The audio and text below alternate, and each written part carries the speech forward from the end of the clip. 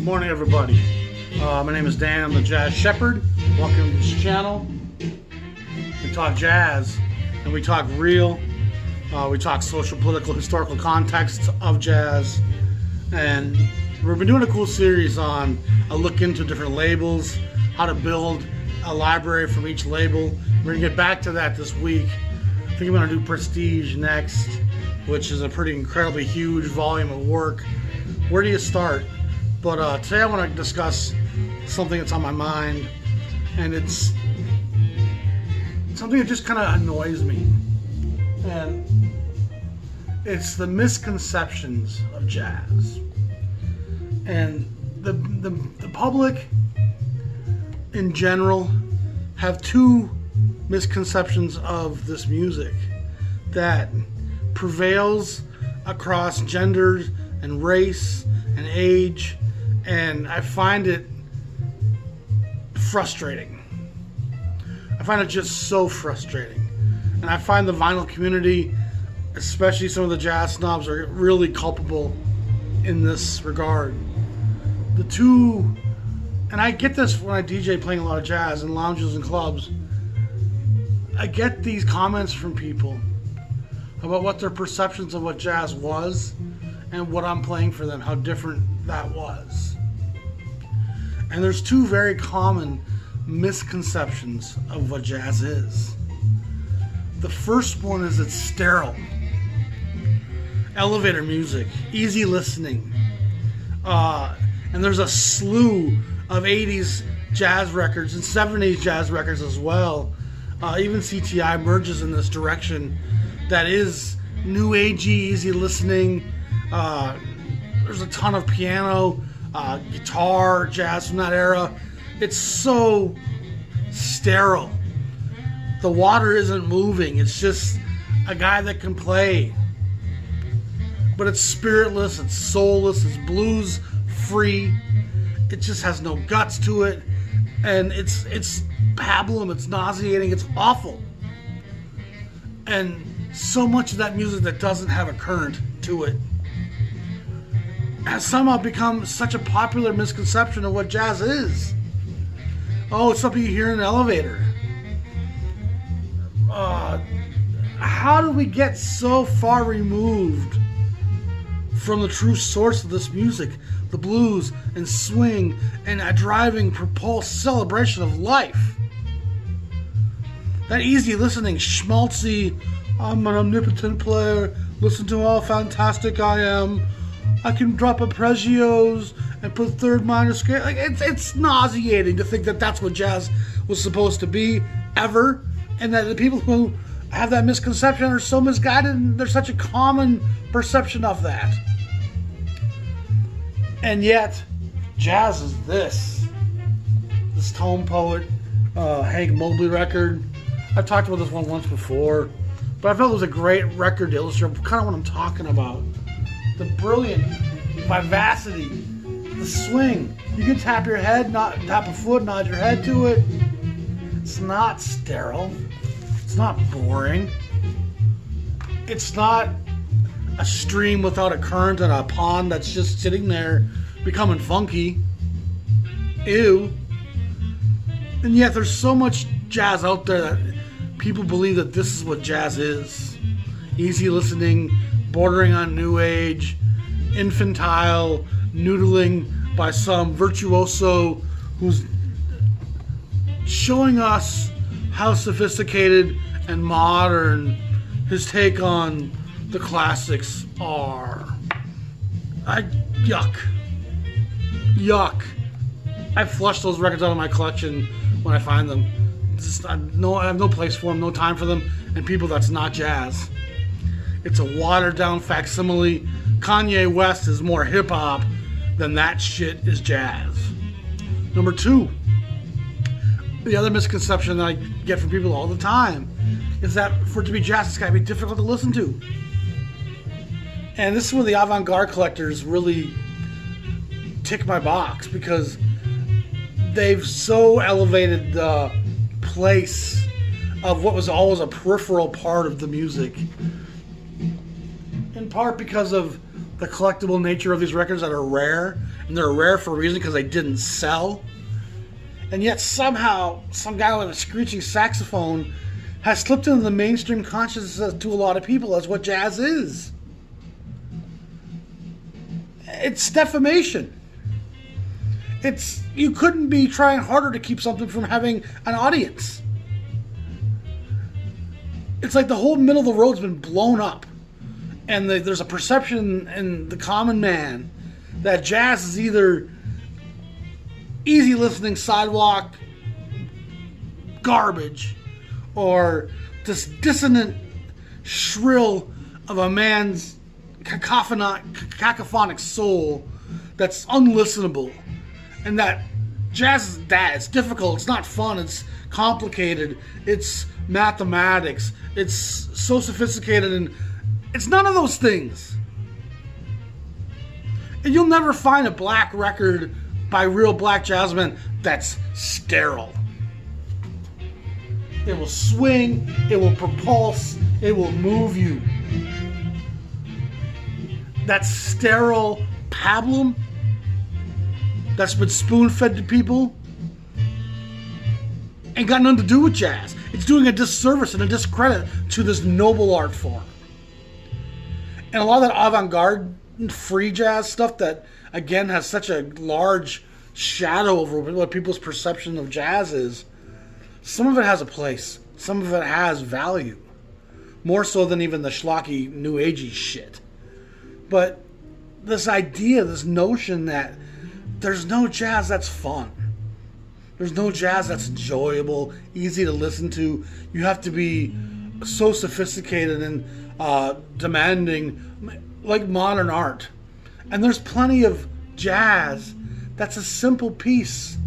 A simple piece of art you can look at and see, oh, that's a car in a field with a tree and, a, and a, so much of it is beautiful and, and celebratory and fun.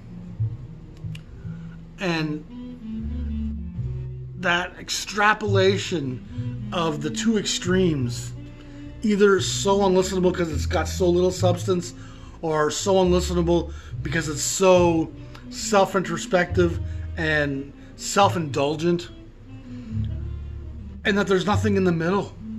How do we get such a consensus in the public that that's what jazz is? It's it's it's like you're trying to destroy it trying to disservice and where exactly that comes from it's hard to say. You know i think politically there was motive to destroy disco when reagan came into power uh, because disco was bringing a communal s- sexual relationship between blacks and whites and that was a threat to a lot of the power structure because that kind of interbreeding would bring a unity and a shared interest because now my children and my grandchildren are mixed so i now have to consider both sides of, the, of this coin. And i just think there was a desire to kind of stop that. And there's a lot of white americans that are very uncomfortable about their daughters dating race you know? But how they stopped disco dead in its tracks quite like they did and it was there was a bit of a, a burnout anyway which happens with any genre that becomes as popular as disco was. But with jazz, it's tougher to kind of say what is leading this portrayal of jazz today. How are we only getting and again, I'm not talking about music people, I'm not talking about jazz music fans. I'm talking about the common person who, when you mention the word jazz, and they'd say this. They turn their nose up. They they they they, they shudder. They shrink at the sound or the sight of what they perceive jazz is going to be. And it makes them uncomfortable and, and queasy.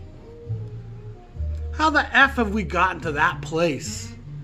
When 90% of the body of real jazz is incredibly approachable and listenable. This is Mobley. This is Mobley with Art Farmer, Pepper Adams, Sonny Clark, Paul Chambers, and Philly Joe Jones. There's nothing about this the schlocky, schmaltzy, new agey, unlistenable, shrieking, dissonant. It's melodic blues. And the honesty of a guy pouring his soul into a saxophone outweighs any set of lyrics at any point in time. Lyrics are phony. They portray uh, an image that someone's trying to portray. They set up an unreal reality for you to kind of digest. A guy speaking to his horn, if you have the empathy to hear and just feel what this guy's telling you, where he's coming from, there's no illusion, there's no pretend. I can only express from my soul the real insides of me. It's the most redeeming, honest, refreshing, delightful form of music that I know of. And I try to listen out and branch out to other things, things I haven't listened to in a long time. It only takes me an hour of listening to rock or reggae or hip hop before I'm like, oh, this is so static. This is so stale. The same four bars over and over again. Uh, the basic three chords of the average rock or pop song. It becomes really anemic and doesn't stimulate.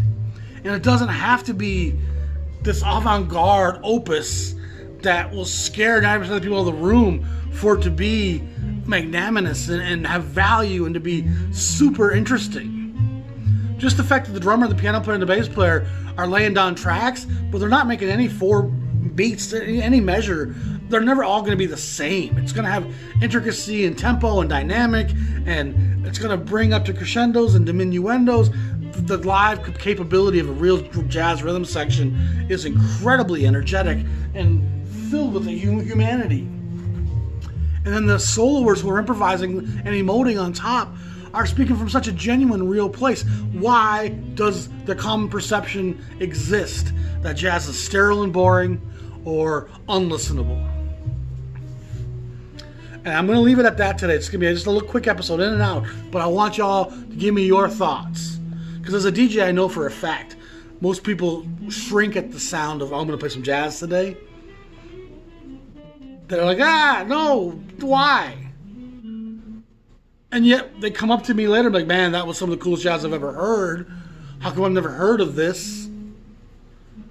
And I can't answer that question.